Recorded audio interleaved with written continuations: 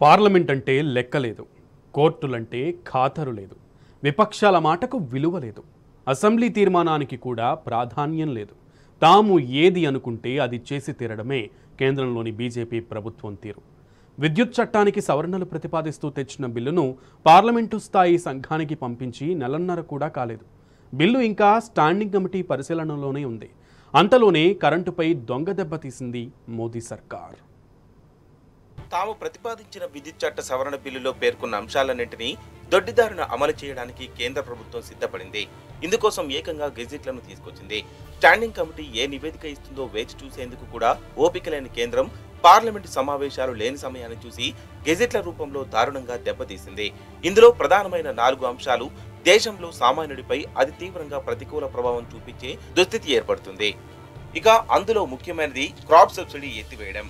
Cross subsidy అంటే వాణిజ్య అవసరాలకు ఇచ్చే కరెంటుపై ఎక్కువ ఛార్జీలు వసూలు చేసి ఆ మేరకు పేదలు రైతులు గృహ వినియోగదారులకు సబ్సిడీ ఇవ్వడం. ఇప్పుడు కేంద్రం గిజిట్లు ఈ క్రాస్ సబ్సిడీకి మంగళం పాడాయి. దీంతో ఏ వర్గానికి కూడా సబ్సిడీ ఇచ్చే అవకాశం ఎంత మాత్రం ఉండదు. ఒక విధంగా రైతులతో పాటు వివిధ వర్గాలకు ఉచితంగా ఇస్తున్న విద్యుత్తును ఇకపై ఇవ్వడానికి ఆస్కారమే ఉండదు. అన్నిటికీ మించి తెలంగాణ లాంటి రాష్ట్రాల్లో వ్యవసాయానికి ఇరవై నాలుగు గంటల ఉచిత విద్యుత్పై వేటు వేసే కుట్ర ఇది. ముందు డిస్కంలను ప్రైవేటీకరణ చేయడం ద్వారా డిస్ట్రిబ్యూషన్ వ్యవస్థను ప్రైవేట్ సంస్థల చేతుల్లో పెడతారు. దీంతో విద్యుత్ ఛార్జీలు ఇష్టారాజ్యంగా పెరుగుతాయి. బకాయిలు చెల్లింపు విధానం కఠినతరం చేయడం వల్ల విద్యుత్ సంక్షోభానికి మోదీ సర్కార్ తెరలేపుతుంది.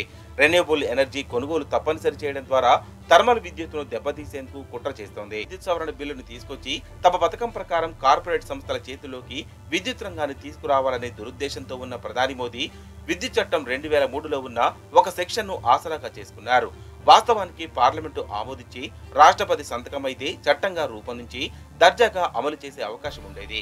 కానీ స్టాండింగ్ కమిటీ పరిశీలనలో ఉన్న ముసాయిదా బిల్లు ఎప్పుడు ఎలాంటి స్థితిలో బయటకు వస్తుందో తెలియదు.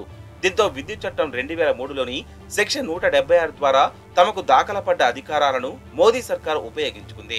స్టాండింగ్ కమిటీ పరిశీలనలో ఉన్న విద్యుత్ సవరణ బిల్లు రెండు వేల ఇరవై రెండులోని ముఖ్యమైన అంశాలన్నింటినీ నోటిఫికేషన్లు గెజిట్లు రూల్స్ రూపంలో తీసుకొచ్చారు. దీంతో సవరణల బిల్లు మొత్తం వివిధ గెజిట్లు నోటిఫికేషన్ల రూపంలో అమల్లోకి వచ్చింది. చట్టం రూపంలో తీసుకురావాల్సిన దానిని దొడ్డిదారిన ఉత్తర్వుల రూపంలో తెచ్చి యథాతథంగా అదే చట్టాన్ని అమలు చేస్తోంది కేంద్రం. కేంద్రం జారీ చేసిన ఈ నోటిఫికేషన్ ద్వారా డిస్కమ్ల స్థానంలో మరెవరైనా ఏ కంపెనీ దరఖాస్తు చేసుకున్నా విద్యుత్ పంపిణీకి సంబంధించిన లైసెన్సును జారీ చేయాలి. డిస్ట్రిబ్యూషన్ లైసెన్సులు అనేవి ఎన్నైనా ఉండవచ్చు. ఏ ప్రాంతానికైనా డిస్ట్రిబ్యూషన్గా ప్రైవేట్ కంపెనీలు కొత్త అవతారం ఎత్తవచ్చు.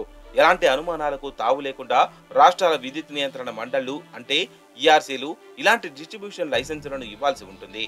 కేంద్ర విద్యుత్ నియంత్రణ మండలి సిఈఆర్సీకి ఉన్న అధికారం పరిధిలోకి ఒక రాష్ట్రంలో ఒకరి కంటే ఎక్కువగా ఇలా లైసెన్సులు ఇవ్వడం ద్వారా ప్రైవేట్ సంస్థలకు ద్వారాలు తెరిచింది కేంద్రం. కేంద్రం జారీ చేసిన నోటిఫికేషన్ ద్వారా national load dispatch centre regional load dispatch సెంటర్లకు బకాయిల చెల్లింపులకు సంబంధించి అజమాయిషీ చేసే అధికారాన్ని కల్పించింది కేంద్రం. ఒకవేళ బకాయిలను సకాలంలో చెల్లించకపోతే ఓపెన్ మార్కెట్లో విద్యుత్తును కొనుగోలు చేయనీయకుండా అడ్డుకోవచ్చు. తాజాగా జారీ చేసిన ఉత్తర్వులు ప్రైవేట్ విద్యుత్ ఉత్పత్తి సంస్థలకు ఒక వరంగా మారాయి. అవి బకాయిలు చెల్లింపును బూచిగా చూపి విద్యుత్ కొనుగోలును అడ్డుకోవడం ద్వారా ప్రజలను రాష్ట్రాలను అంధకారంలోకి నెట్టే ప్రమాదం ఉంది. రేపు ఈ నెల ఎనిమిదిన కేంద్ర ప్రభుత్వం రాష్ట్ర ప్రభుత్వాలతో ఎలాంటి సంప్రదింపులు జరపకుండానే కొత్తగా రెండు గెజిట్లను జారీ చేసింది. దీనివల్ల ప్రైవేట్ సంస్థలు ఇబ్బడి ముబ్బడిగా విద్యుత్ పంపిణీ వ్యవస్థలోకి వస్తాయి. ఒక మున్సిపాలిటీ ప్రాంతంలో గాని లేదా పక్కనే ఉన్న మూడు రెవెన్యూ జిల్లాల పరిధిలో గాని లేదా ఏదైనా చిన్న ప్రాంతమైనా ప్రైవేట్ లైసెన్సులు ఇవ్వడానికి వీలైనవిగా గుర్తించవచ్చు. ఇలా లైసెన్సులు ఇవ్వడం వల్ల ఇప్పుడు ప్రభుత్వ ఖర్చుతో ఏర్పాటు చేసిన నెట్వర్క్ వ్యవస్థను ప్రైవేటు డిస్ట్రిబ్యూటర్లు ఎలాంటి పెట్టుబడి పెట్టకుండానే వినియోగించుకోవచ్చు. అసలైతే విద్యుత్తును ఆడిట్ చేయాలి. సబ్సిడీ ఎవరు ఎలా ఇస్తున్నారు?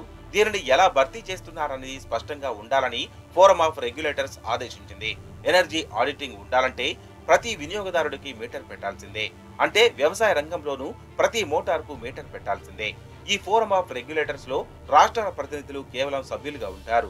కేంద్రం ప్రతినిధి మాత్రమే చైర్మన్గా ఉంటారు. ఫలితంగా కేంద్రం అనుకున్నది చెల్లుతుంది. అదే చట్టం అవుతుంది ఇక కేంద్రం జారీ చేసిన గెజిట్లు నోటిఫికేషన్లు రూల్స్ రూపంలో అమలు చేయాల్సిందేనంటూ చెప్పిన అంశాలన్నింటినీ కూడా స్టాండింగ్ కమిటీ పరిశీలనలో ఉన్న విద్యుత్ సవరణ బిల్లు రెండు వేల ఇరవై రెండులో పేర్కొన్నవే. అంటే చట్ట రూపంలో రాకుండా వాటిని అమలు చేయాలని రాష్ట్రాలపై దాడి మొదలుపెట్టింది